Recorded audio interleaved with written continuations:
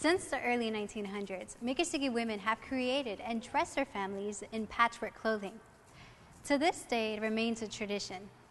And at the annual Miccosukee Indian Arts and Crafts Festival, you will find both contemporary and traditional Indian clothing.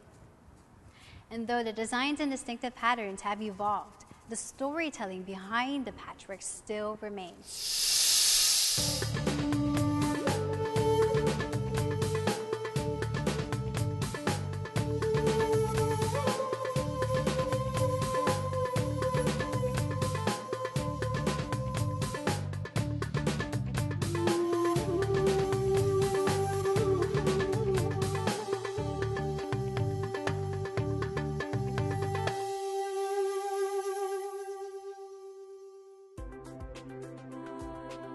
This patchwork that you're going to see today is real.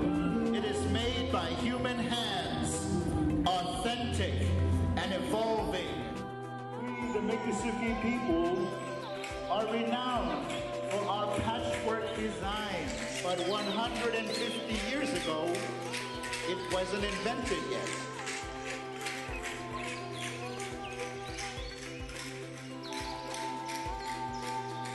And so you see Diana here today in a very simple dress. This is the pre-patchwork era.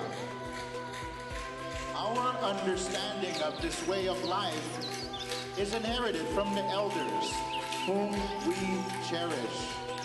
Each step of his dance shakes the ground that he walks upon. Each animal that he brings back to the village is a blessing to our families. Each song that he sings brings the spirit within. During the war for our survival, our ancestors had to flee at a moment's notice. Oftentimes with only the simplest clothing for protection from the elements.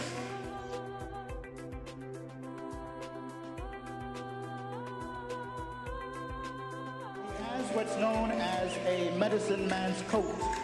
Beneath the coat, he has a simple protective shirt. And those were the kind of shirts that were made while our people were on the run. In his hands are the equipment that we use to play a very popular game, what we call stickball.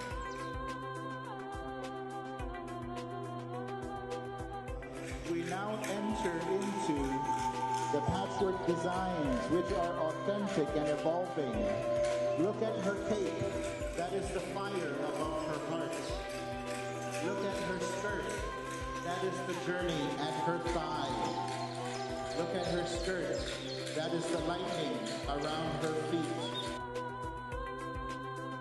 And so as the women create their patchwork, they would experiment and create new patchwork designs that would renew the older styles, like the patchwork across this feet.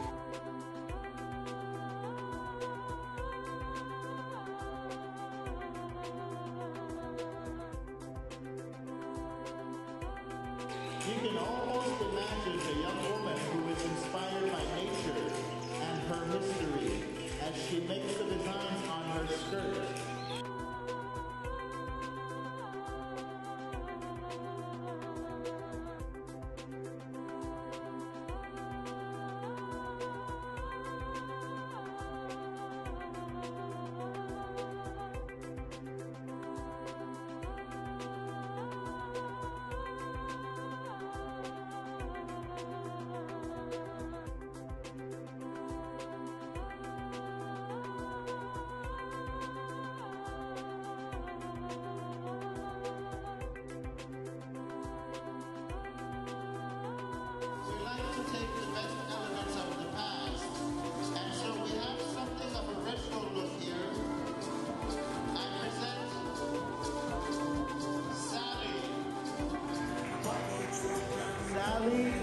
The Miccosukee woman of today.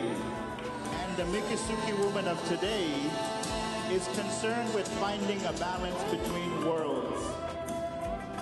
And to find a balance between worlds, the Miccosukee woman of today must be respectful of her traditions and yet be shrewd in this global village.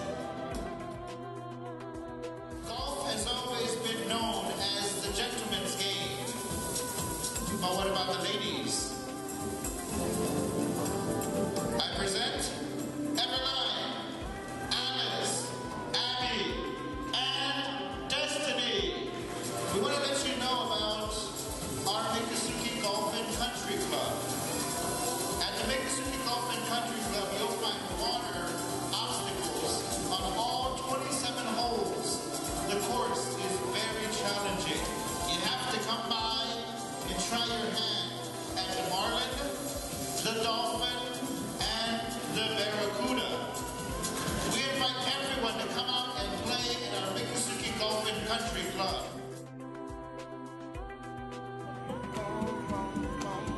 so, as they come out, I also want to give some recognition to our fashion show coordinator who has worked with the community to put this together.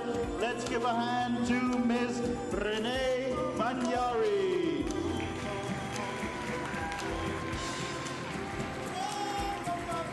I also want to thank the seamstresses from the community who have created these garments